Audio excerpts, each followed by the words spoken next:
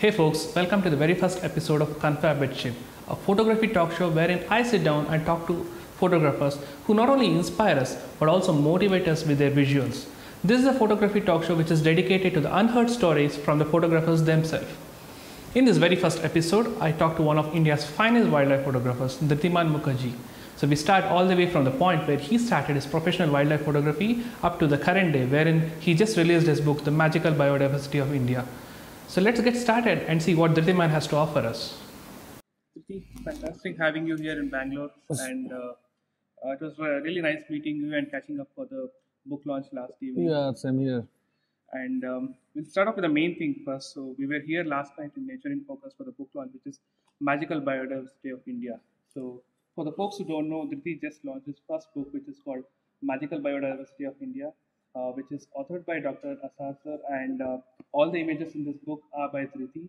And we'll just quickly catch up with him on uh, all the things regarding his book and things beyond like wildlife photography. So Dhriti, to start with, how did this whole book uh, come up with? Actually, we, we were working on this book uh, uh, from 2012, end, end of 2012, because we planned it, not sorry, not 12, 2013 actually. Okay. So we were uh, planning on this uh, book uh, from Narcondam when we met Dr. Rahmani in uh, that place. We stayed uh, for 15 days Mhm. there and we discussed on this. Because I was working on entire India, uh, I mean from I mean all over the places and uh, all kind of habitats.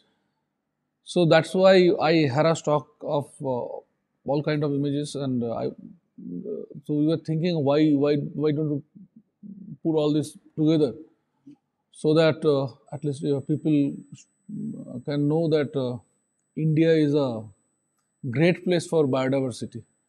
So yesterday I was telling uh, during the function. no, So uh, I mean, when I started, the idea was like India's biodiversity means elephants, tiger, bear. I mean, the, all the prominent mammals only, and few birds. Yeah. And when I started traveling and started uh, photography, I realized it's actually not. We, we have a lot of things. Yeah. And I found we have everything. We have mountain, highest mountain of the world. We have desert. We have uh, 7,000 kilometer coastal line. Yeah. We have rainforest. And Northeast India is uh, quite, I mean, Northeast has quite virgin areas also. I mean, so we, we have all kind of forests. It's kind of a mini world.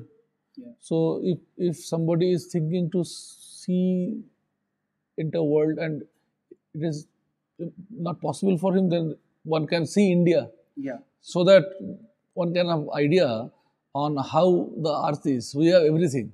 So I just wanted to put this, all these things together in a book so that uh, uh, common people can, can know Mhm. that uh, the actual biodiversity of our country. So in fact, like last night, I spent some time going through this book, and uh, I realized that there is nothing that which is not covered, which is there in this book. Yeah, we because we covered uh, uh, from the uh, we could have done uh, according to some biome, but we divided in the entire country into region Yeah. so that we could include everything. Okay. That's, that's good. So the folks uh, who want to have a look at this book or even want to grab a copy, I'll I'll put a link in the description of this video. You can pick this up from the BNHS uh, website. So the link will be provided in the description of uh, this video. Also from Oxford, actually. So Oxford. uh, yeah, Yeah, also from the Ox- Oxford uh, Honors. So Dhriti, just uh, let's drift a little bit away from uh, the book and go to your main stuff, which is wildlife photography. So from what I know and quite a few people know, you were into mountaineering and you were a teacher at one point of time in your life, and then now uh, you've been regarded as the only professional wildlife photographer in India. So how does how did this transition happening happen from being a mountaineering guy to being a wildlife photographer? Well, uh, I, I- started traveling uh, from from my uh, I mean when I was one with my parents, and everywhere we used to travel. And after finishing my school, I started trekking and then uh, started mountaineering uh, from a mountaineering club called Climber Circle in, in Calcutta. So the that that part was definitely it was my hobby, hobby means I really enjoyed this outdoor things, uh, rock climbing and uh, trekking and uh, mountaineering expeditions. So, and I started photography in '97, and uh, the thing is, from '98, I did a course on uh, ecology and environment. So I, I got some interest in uh, wildlife. Otherwise, I had no relation with even uh, with biology because I left biology after 10. My fourth subject was statistics because I'm purely I was a uh, physics mathematics guy. So I just uh, left biology. It was not even in, in my school. Statistics was not even in my school. I just introduced the subject to avoid biology. Okay. So few few of my friends actually uh, took statistics as a fourth subject, Okay.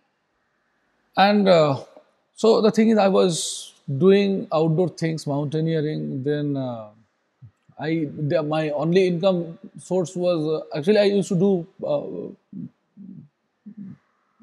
I mean, uh, teaching privately. I mean, it was a kind of private tuition, but I, I really uh, was enjoying teaching physics, mathematics, and sometimes statistics. So it, I had some heterogeneous group of students. I used to teach. Uh, uh, I mean, the plus two students, then uh, joint entrance students, uh, BCom and MCom students for uh, this uh, stat and math. So I just uh, so that that was different different part. So I I continued teaching up to 2001. So when I finished this this course, no, this uh, ecology masters in ecology and environment, I I just uh, I thought uh, let's take this. Uh, uh, I mean, I mean, I got interest in wildlife, and I started bird watching with Prakriti Sham- Samsad, and I realized uh, I can't do. I mean, so-called five to ten uh, office job because from '94 I was traveling a lot. And it is not that after photography I started traveling, but I mean after '94 actually I started. I was traveling a lot, and uh, uh, it it became a habit for me. Okay. So I thought if I go for a job, I will miss this life. Yeah. So I, I just uh, synchronized all these things, this uh, the ecology environment, then mountaineering, and I started photography in '97, and I decided to take it as a profession in 2001, knowing nothing. I just thought, let's take it as a profession, and I got into the soup. But how's been the journey so far? 2001 till 2000. Actually, uh, if I tell the truth, now I just forgot all all my struggles. I don't, I can't remember the struggle. I don't know. I, I, I can remember the good things only. Okay. Yeah. So, but what I can remember, even in 2006, my in, income from photography. That was my only source of income because I left teaching in 2000 end of 2001 because I thought uh, it is better to uh, you know do it uh, full heartedly. I I was not uh, you know if you are uh, having some money from other side it will give you some comfort zone. So if you're thinking to take something as a profession which is not uh, you, uh, you know not very uh, common or not very well known.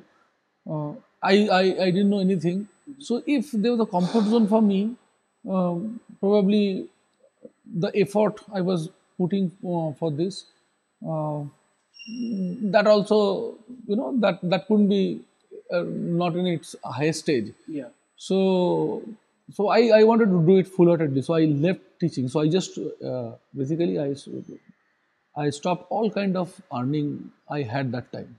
And uh, just jumped into it and realized it is very difficult very difficult. Yeah. I, uh, what I was telling that in 2006 my income from photography was only 25,000 rupees per year. And before that it was like 10 12 15 so you can imagine this five years I, I uh, I mean traveling uh, involves lot, lot of lot of cost and equipment so everything was very expensive but I don't know how I managed but I managed it because my parents uh, gave me a support and uh, I don't know I can't remember now Okay. but you're enjoying your uh, wildlife? Yes, I mean, from that time I, I was uh, traveling like 15 trips a year, 16 trips a year. So, so at least the best part of it, you can see lots of new new things. Okay. You get a chance to be surprised every time, Okay. and uh, and definitely the the nature is beautiful and India is beautiful. So I was working in India and out uh, most of the time outside this uh, heavyweight parks, lesser known areas Yeah. and mountains. So, and out of all these things uh, from the city, Yeah. So which I'm actually not comfortable with. Uh, so that way, definitely, uh, it was superb life actually. Oh, good. So last night uh, you just mentioned that you you are you just started off your wildlife photography concentrating on the lesser known aspects of Indian landscapes and Indian mammals, which is totally outside of the big parks. Okay, and you're concentrating more main on the mountains. So how did this whole idea come up to you? Because this is not something you started new. This has been something you've been doing since a long time. You, you went behind rare birds, you went behind the lesser known mammals. So how did this actually start off uh, when you started with the wildlife? Well, so uh, when I started, uh, uh, definitely the most of the work in India, uh, uh, what I saw was on big mammals. Few people were there who were in research, who were working on lesser known things and rare and endangered species. Uh, but the number was very less. Even I can remember in 2003 4, very few people knew about we, we, we have a ape, the hoolock gibbon. Mhm, Yeah. Yeah. So what I thought that if I if I uh, two things actually. Uh, the first thing is uh, first thing is about uh, when I'm doing something, I'm doing uh, photography. What is my what will be my contribution to the photographic world? I can contribute either from photographic point of view or to the science because uh, uh, nature photography definitely is different, a little different from other uh, kind of photographies uh, because it's it, it nature photography has a scientific part. Yeah. So we are we can uh, uh, document our ecosystem, our natural world. so, so for me, I, I mean, it is always uh, give me pleasure if I'm contributing uh, for uh, society or science or anything. So I thought, what is done? Let's go for something else which is not done. Okay. And if you see outside India, say the the best places, Africa or uh, you know South America, so many photographers work there, and uh, and I found India is completely undone place. Exactly. So I, I, I thought let's uh, concentrate on our own country. I know the country, and uh, and here I have a lot of things to do. Yeah. So that actually triggered uh, me. I mean, and definitely uh, doing something. Uh, uh, uh, repetition is boring for me. I mean, what to do with that? So that way, I started study, studying. Uh, I started seeing photographs that what is done and started uh, studying what is not done. So I just made a list and uh, uh, I just planned uh, the time and the I mean when I can uh, work on what subject. So that way I planned uh, the entire year and I started working on. For example, this uh, I for this uh, Western Tragopan, I did at least six seven trips. Okay. So I got the first shot in the wild. So that gives a pleasure. So when you are photographing something which is first time in the wild, so which was not done. So so that way, um, so that was the you know source of uh, uh, I mean the force which basically uh, helped me to work on new subjects.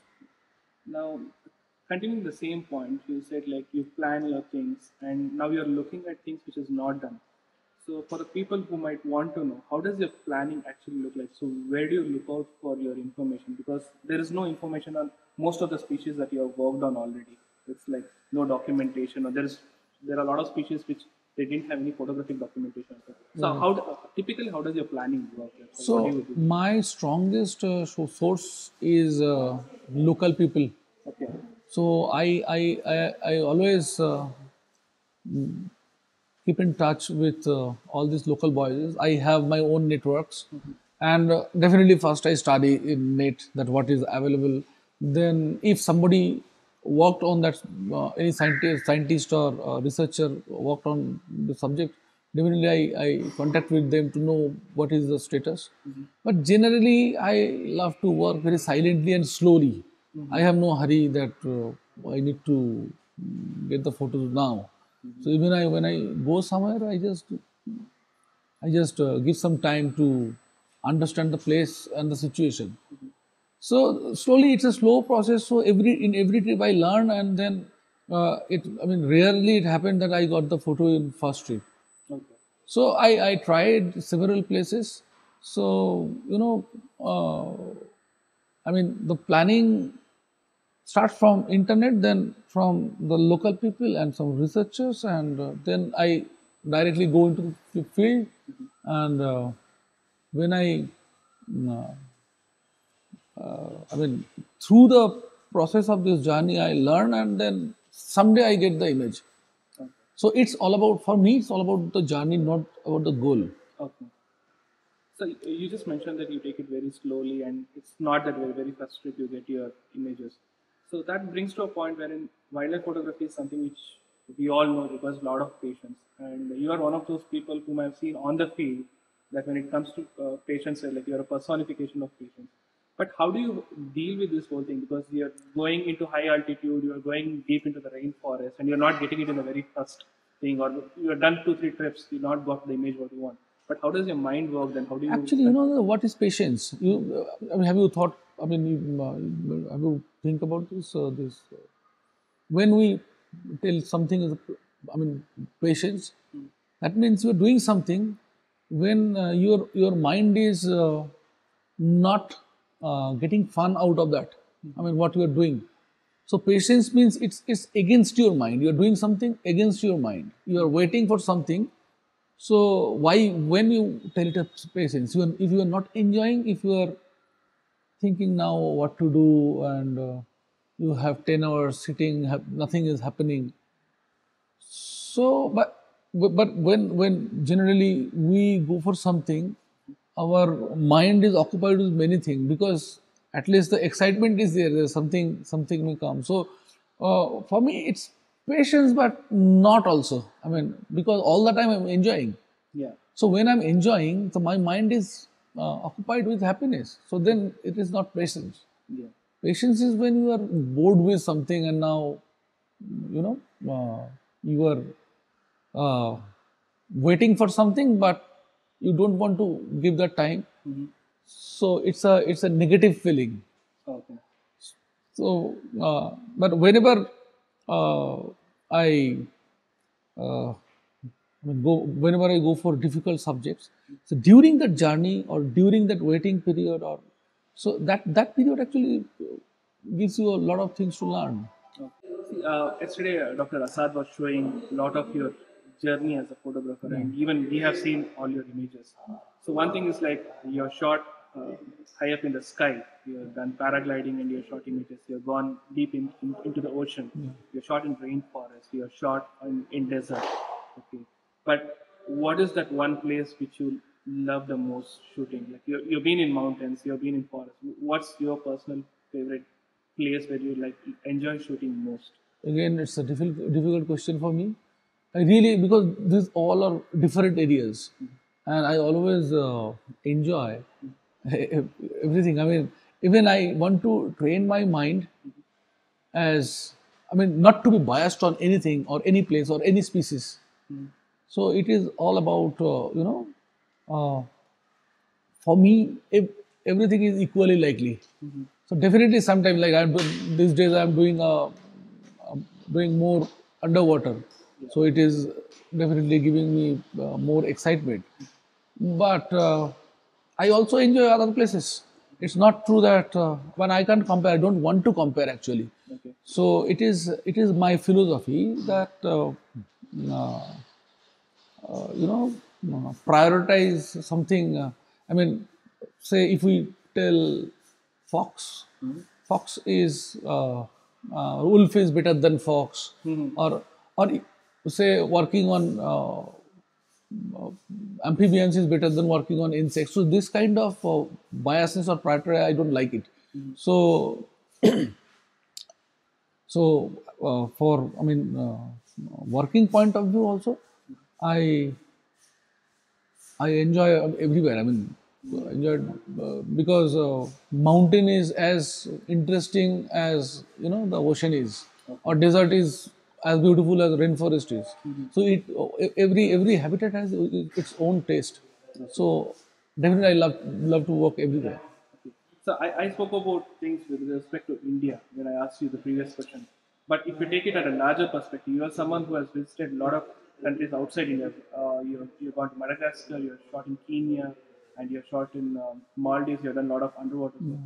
But how do you compare the experience of shooting there and shooting in India? Like, do you see any major differences when it comes to shooting uh, in a foreign land and shooting in your own backyard, wherein you know things better? Yeah, yeah, definitely. Working in your own country is always much more comfortable. I know the people, I know the area, I know the land, I know the uh, character of uh, from every aspect. Uh, but I mean, wherever we, I went uh, outside India, uh, most of the countries were like India. I mean, it's not like uh, it was not the first world. So I mostly worked in uh, Africa. I worked in Papua. Yeah, uh, definitely this Madagascar. So actually, uh, I, I I I didn't uh, find any uh, difference uh, while shooting. But the thing was, all the trips I did outside India, it was not as long as what I, I can do in India. So it was very short and uh, compact kind of trip. So I was uh, bound uh, to a system of, I mean, that, that uh, the, the, I mean, under the travel, uh, you know, under a travel plan which was done before.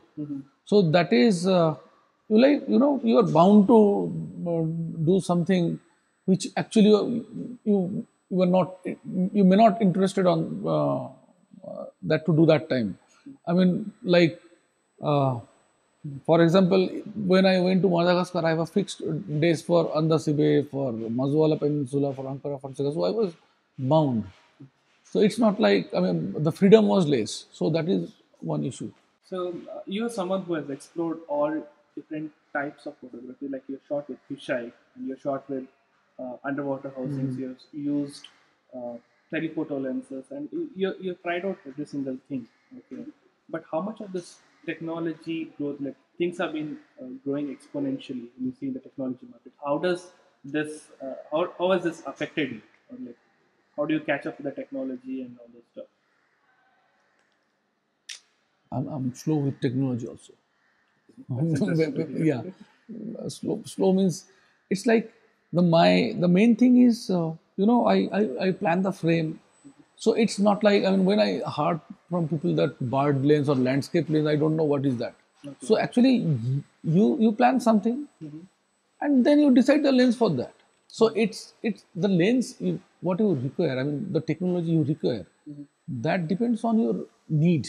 What you are planning, or what is in your mind. So you are thinking something. For that you need some technology. So the first step is not technology. I mean sometimes what we do, some some technology comes and we definitely it happens. Like when dro- drone came, Yeah. so then you, you can uh, plan and okay, so now uh, this facility is here. So we can do something interesting from different perspective. Definitely it happens. But for me, I generally plan something and then I decide the what technology I need to use. I'm not, uh, you know, Take up whatever comes in the market. yes, and yes, yes, yes, yes, uh, never, yeah. Now that leads me to a question like how uh, attached are you to your equipment like that? Do you like take care take care of it like a baby or like you're just like not, it's there for your use? That's yeah, it. yeah, that's it. It's, I'm not that, uh, you're not no, not emotional about that. Yeah. Okay. So yeah. Now uh, one one other thing I want to talk is like uh, when it comes to wildlife photography, uh, a lot of people do it for passion. A lot of people do it for hobby. and there are quite a lot of people who do it for conservation. Right. And you've been someone who has been doing it for profession. I mean, you, you have contributed your share of it for conservation, but you've been doing it for profession. That's like you earn your uh, income out of the professional aspect of wildlife photography. But uh, being in a country like India, how easy do you think is for someone to get into wildlife? is, it is, forget about easiness. It is not possible actually. okay. So, uh, for anybody who wants to take it as profession, uh, I mean the still photography, the still nature photography. Not I'm not not talking about the filming. It, it is not possible to survive with uh, you know the nature photography if you if you have a normal life. Normal life in the sense, I mean the the normal what norm, a normal guy expect to have in in their life. So because like I only run my trips, I, I I I don't do anything out of my income.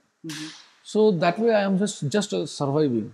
Okay. So like I, I don't pay my electric bill or I don't pay the, the other stuff. So so it is uh, it is very difficult. I, I, I can say I mean I, I don't know any way. I, I have I don't have any fixed uh, way. It is actually evolving and uh, every year the uh, I mean the the income sources the, from where actually I, I where I uh, sell my images, the, all the sources have actually changes. Okay. So it, it, it depends on uh, uh, time. It is changing very fast, and after digital, uh, when the digital photography came, the supply of images uh, increased. So as profession, it is uh, definitely very difficult. But my life is fantastic, so that's why I can do this. Okay. But a lot of people see wildlife photography as a very glamorous side of things because you're always in the field, you're working, like you're shooting tigers, elephants, and all those things. Like so, for Yeah, people who I- want to I- get into such things, So like, yeah, what is just your- one ca- one can keep it as a hobby. So this is a very good hobby. I mean, one, one uh, definitely. mm, Uh, I mean, the wildlife photography has wildlife no, no. Better, it is better. Uh, I feel nothing is. I mean, I can't say that this is absolutely impossible. So if somebody like me, this is the only option for me. I just I kept no option for other things. So that's why I could. I mean, I was even if I, I feel if I start now, I can't survive with uh, this because I started uh, 15 years back. So that's why I can manage it now. So for newcomers, I just suggest uh, go uh, keep it for hobby. Don't go for profession. Do something and enjoy in the field. So that that is the uh, that will be best for nature photography. So one thing I want to check is a lot of people are now, especially a lot of wildlife photographers, are now moving into video fields, and you're someone whom I feel is not touched that part. So do you yeah, have I anything in mind about no, no, not yet, not yet. I don't enjoy uh, video photography. So, no, I mean, not. But do you have any plans in future? no, not. not, I not never even- thought about this. So you want to concentrate on the core photography aspect of your. Yeah, yeah. So at this point of time, like you told, you don't have uh, thoughts of going into video and you want to stick.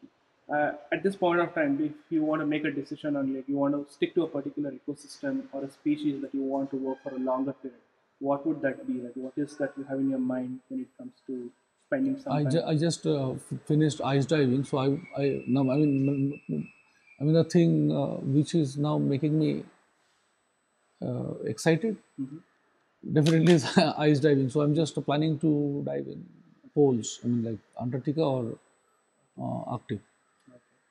So that leads to a point wherein uh, the current ongoing work that you have right now is 100 Days of Himalaya. You're, you're doing this work with uh, Shantanu. And I recently picked up this magazine, Saevus. I think you are a part of this. Yeah. And we had this um, article about uh, music in the mountains. Okay. So how did this idea come up? Like how this 100 Days of Himalaya, Himalaya like what's the idea behind this? No, actually, uh, me and Shantanu was uh, just thinking to do something interesting, and definitely we have a common uh, uh, place of interest uh, in Himalaya. So I worked there for long. So he also uh, uh, traveled, he trekked before in uh, mountains. So we thought, let's do something in Himalaya. But uh, really, we didn't have any particular plan, even not now. So now, this time, what we are doing, whatever we are uh, in, uh, encountering, we just uh, he is taking some videos, something he is interacting with people, and I am just uh, uh, taking photos of everything and anything, whatever I'm getting. It's not like my other trips. Okay. So that that's my the, you know uh, when you are working something. Uh, if you want to get something new, you have to apply some changes. So this is a kind of things where I just I mean I just changed my style of work. Yeah. Uh, like it, it's a, a daily travel trip. I'm uh, traveling very fast. I'm not giving time for particular subject or particular place or particular thing. Okay. So it's like mm, just moving like a tourist and whatever I'm uh, encountering, I'm uh, documenting. So, So we can actually the thing the the goal we can uh, at end end of the uh, day we can uh, catch the catch one particular time uh, uh, of Himalaya. Say 2016 Himalaya in 2016. okay. okay. Yeah. So if somebody work after 10 years, they can see the change. They can um, uh, you know make out the change. Sometime in future, Yeah. Yeah. uh, Exactly. probably five, ten years Yeah, down the line, yeah. somebody wants to do 100 days Yeah, of Himalaya again. Exactly. They can have a reference thing. Yeah. So uh, that leads to me uh, my final question for you, which is like uh, I just want to know from your end like a message for all our viewers, like the aspiring wildlife photographers and nature photographers. Is there any specific message you want to give who wants to get into this wildlife photography thing? And what is your Uh, take on? For nature photography, I, I, I, I can say to the newcomers, the, the main thing you enjoy it and just take out all competitions because this is very much subjective things. Uh, we have a lot of things to do. Don't don't go where other photographers are going, and uh, uh, enjoy the journey. Don't don't uh, think for the goal. I mean, the result, what you will get either from money, name, or whatever it is. Uh, better to enjoy the the, the path and the so so it you know you just uh, it take it very philosophically. Just uh, keep your mind very calm and quiet, and just enjoy it. So that's all. And don't definitely the uh, whatever you do. So we are doing for uh, basically the nature. Yeah. So we just we have to take the call. So that uh, we shouldn't cross the limit where nature can be damaged by us. So definitely that is one point to keep uh, on back of your mind always. Okay. Cool. So that's really fantastic. Thanks a lot for your inputs. Yeah, thank and, you. Uh, good luck for all your future trips and endeavors. Uh, hope to catch up with you again, not in between four walls, but Yeah, in out the in field. field. We'll Yeah. catch up soon.